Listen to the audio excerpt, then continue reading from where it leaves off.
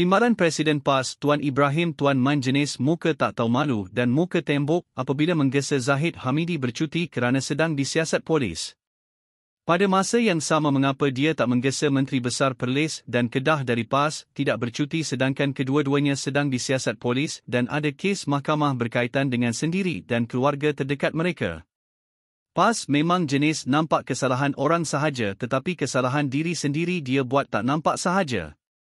Pemuda AMNO mahu PAS menjawab persoalan sama ada ada Menteri Besar Kedah, Muhammad Sanusi Mat Nor dan Menteri Besar Perlis, Mohad Shukri Ramli yang terpalit dengan kes mahkamah dan siasatan oleh SPRM perlu dicutikan atau tidak.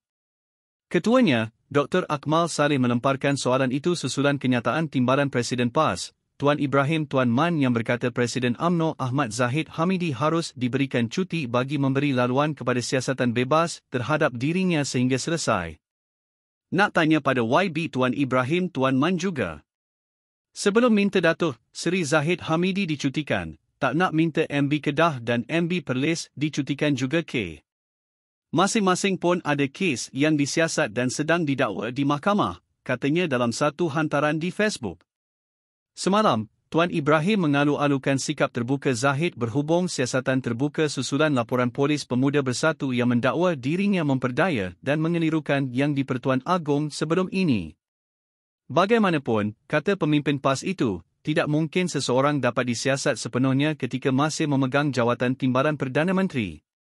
Katanya, persoalan utama apakah hasil selepas siasatan, sedangkan 47 kes rasuah Zahid sebelum ini juga telah ditarik balik.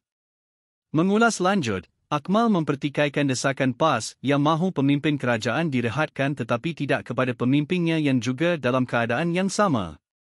Kad orang lain boleh tetapi dekat geng sendiri tak boleh, soalnya lagi.